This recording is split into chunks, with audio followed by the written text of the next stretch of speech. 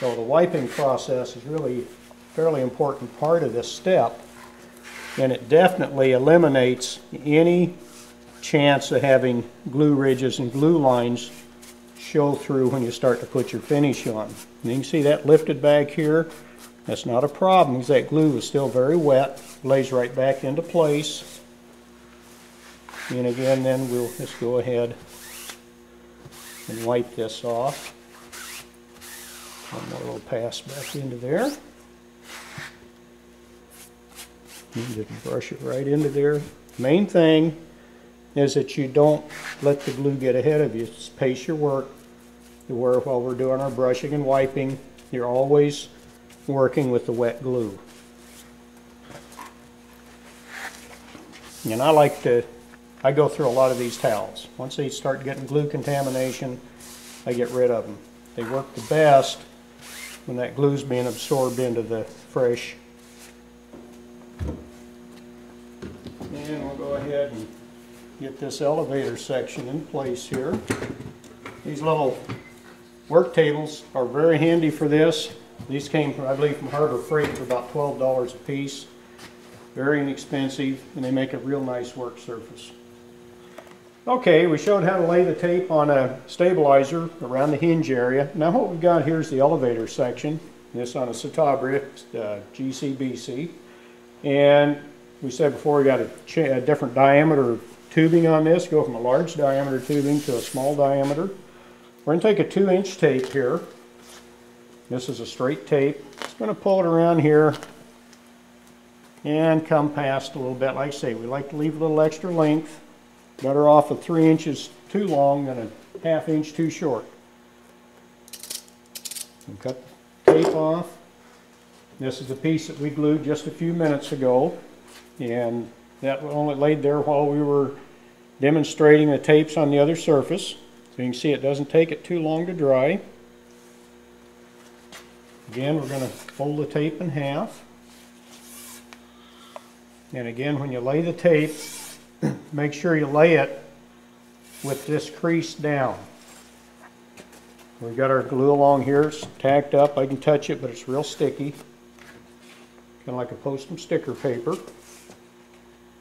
And what we want to do is just try to keep our crease as well centered on that piece of tubing there as we can. Because this is forming our center line so we get an even wrap on our tape. Again, you can see this is a standard tape. It's not a bias tape. We're not pulling this real tight.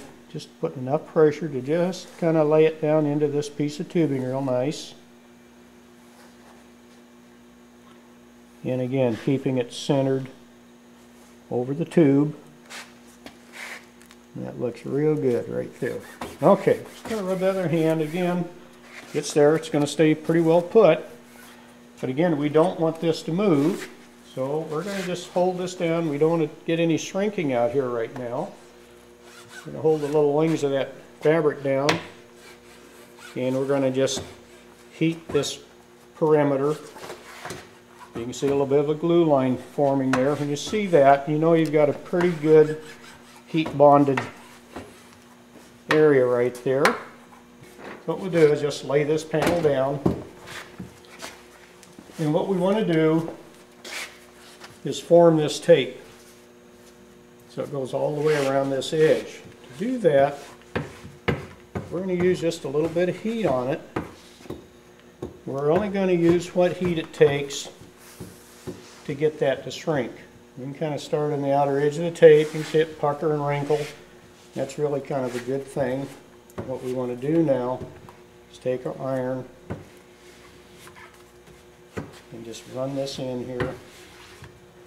You'll find that starts to shrink that tape. See a little shrink coming on it there. We'll come part way around that radius. start at the other end here. Keep pulling it in. Okay, step back over here, Bill.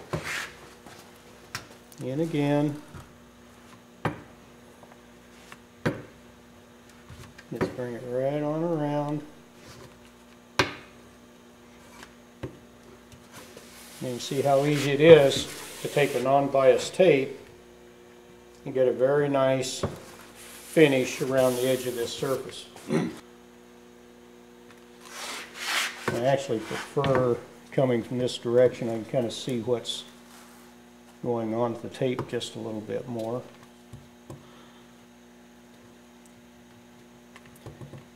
We can see where our lay comes around here. So we can actually start about right here somewhere and just kind of run a pinked, we want this to be able to blend. So we'll just kind of pink this edge off around here like this a little bit. You can kind of get as artistic at this as you want. Kind of bring it around and that'll let that finish off. Notice this is the airstream that's flowing this way. We like to let this tape finish with the airflow. So that's one reason we laid the small tape first. And again, we got a pencil mark, not a big deal to pull it loose. So we can get into here. Then we can go ahead now, follow our pencil lines, make our cutout. Beauty of this, our glue's working for us. We can pull it loose. We're not getting our hands messed up. We're not working in a bunch of wet uh, glue. Look how nice that finish is there. Flows right in. Now to glue on this, it's the same procedure, except now we're going to just lift the edge of the tape up and brush glue around here like this. We're not going to pre-mark it like we did before. Main thing, just wipe some glue under there. Then brush it down through the tape, down roughly to where our center line was. Keep in mind we're doing this a half at a time. Get it nice and uniform color. And again, use your paper towels. And I go through quite a few of these. These are an inexpensive, expendable item. Just wipe the surplus off. Notice I like to wipe to the loose end here, especially the first pass. Any creepage of the tape, it lets it come out and push out the end here, and we're not creating wrinkles in it. You know, if the tape tends to try to move a little. Okay, one thing we need to mention when you're doing your tape radiuses here is that, uh, of course, we heat shrink this, and the uh, temperature of the iron is important. That's what controls the shrink. Personally, I like about 300 degrees, 275 to 300 for a nice open radius like this. If you get a real tight radius and with a 3 inch tape, you're going to be pushing iron right on up to 380, 385 uh, to be able to get that much shrink. You got to keep in mind, a lot of people say, well, gee, that's, that's too hot for the fabric.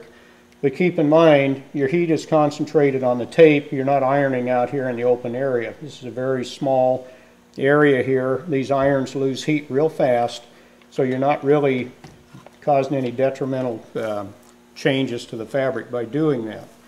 But generally, about 275 to 350 will do everything you need to do.